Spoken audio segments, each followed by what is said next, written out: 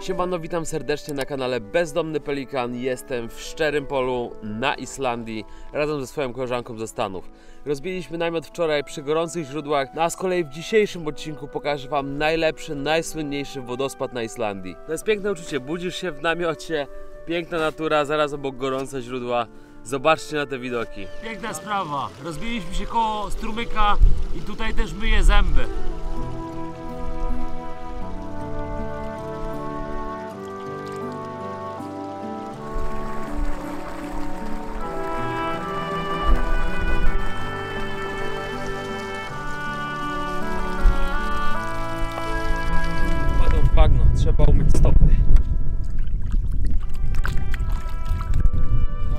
Mamy cieplutką wodę. O, o, a w sumie wrzątek. Uh. To był całkiem miły poranek, a tak naprawdę to jest godzina 15.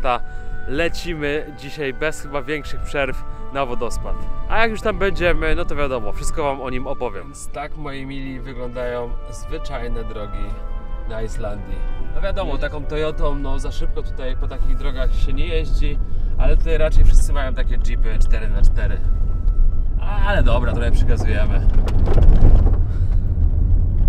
No więc wygląda to totalnie jak Colorado, chociaż nigdy w Colorado nie byłem. Ale tam nie ma tarczyńskiej kabanosy, a ja mam. Idź dziewczyna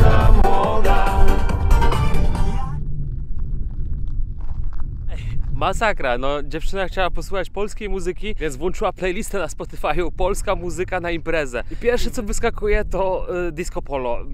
Proszę właścicieli Spotify w Polska o zmodyfikowanie tych playlist, ponieważ no jest mi wstyd.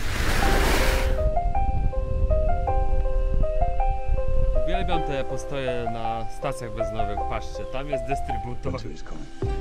Jesteśmy w środku niczego. Jest kibelek. A to jest główna droga krajowa wokół Islandii. Tak się wchodzi do ubikacji przez Kid Stores.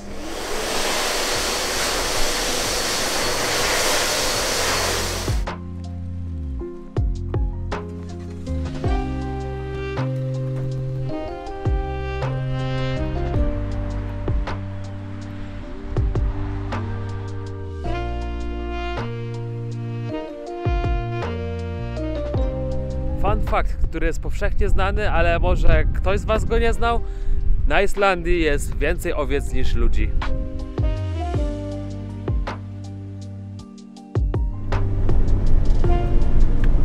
Wiecie co, Je- jedziemy sobie i jem milkę z Oreo. Ale chill.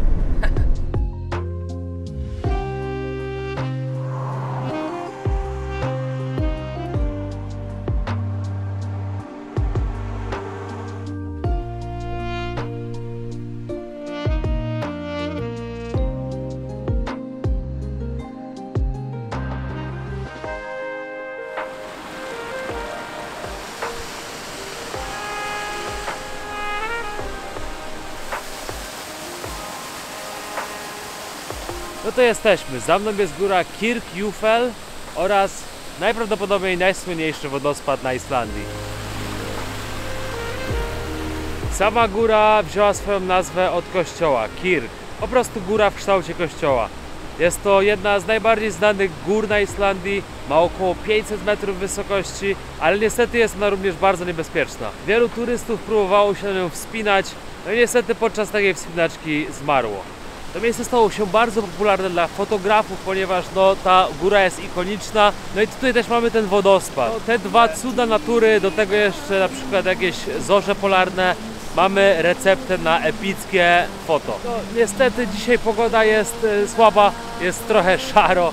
Podejrzewam, że jakby było słońce, jakiś zachód albo wschód, chociaż w tym czasie ciężko te zachody, jest cały czas jasno, no byłoby troszeczkę lepiej. Jest płasko, jest szaro, wyciągniemy to w programie. Daję mu solidne 7 na 10. Tutaj zaraz obok jest jeszcze rybacka wioska, w której mieszka 1000 osób. Zobaczmy, czy znajdziemy tam coś ciekawego. No! Why? Niestety e, owce są dzikie na Islandii. Próbuję jakąś udomowić od, od paru dni na tym tripie. E, no i wszystkie przede mną uciekają. Straszne. Tę flagę LGBT. W ogóle Islandia jest bardzo LGBT friendly e, i paradoksalnie widzę tutaj o wiele więcej tęczowych flag niż flag Islandii. Z drugiej jednak strony budka z hot dogami nazywa się SS, tak więc Islandia kraj kontrastów. W tym małym mieście mogę stać na środku ulicy, ponieważ żadne samochody tędy nie jeżdżą.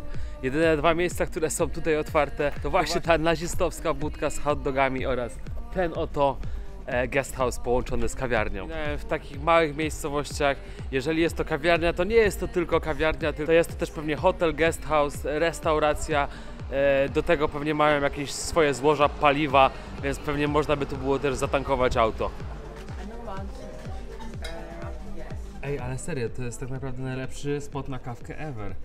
Nie ma nikogo, jest taka cisza, spokój. Kawiarnia jest naprzeciwko przetwórni rybnej. Swoją drogą mega mi się jarał, jakby na przetwórni rybnej były moje zdjęcia. Mam nadzieję, że któregoś dnia, jeśli masz przetwórnię rybną, napisz do mnie prywatną wiadomość na Instagramie, dogadamy się. Kawiarnia, rybiarnia. Port. Dobra, jedzie pierwszy samochód. Zobaczymy, czy stchórzy, czy ja stchórzę. Lecę z nim na czołówę. Dobra, odpuściłem mu. It's pretty mellow, isn't it? In it! Yeah. Aha, no i zapomniałem wam powiedzieć najważniejsze rzeczy, że dzisiejsza nasza lokalizacja, ta słynna góra, była w serialu Gra o Tron. A mountain like an arrowhead.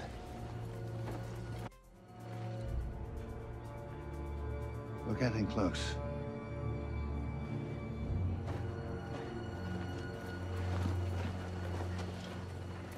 To jest góra, która wyglądała jak grot od strzały.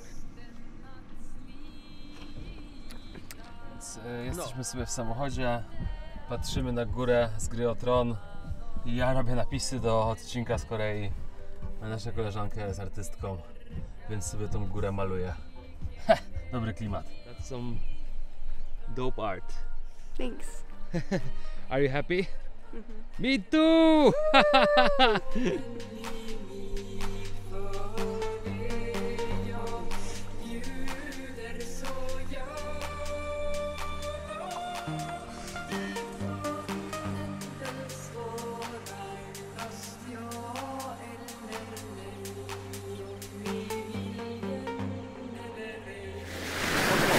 nasz mały trip po Islandii się zakończył. Moja koleżanka pojechała do siebie, za tydzień wraca do Ameryki. A z Islandii czeka nas jeszcze sporo vlogów, ponieważ zamierzam ją objechać całą, zrobić to słynne kółko, no i pokazać Wam moim zdaniem najciekawsze miejsca. Wszystko jest git. Zostawcie suba, dzwoneczek, lajka i komentarz, żeby ten kanał mógł rozwinąć skrzydła. Pozdro i widzimy się w kolejnym odcinku.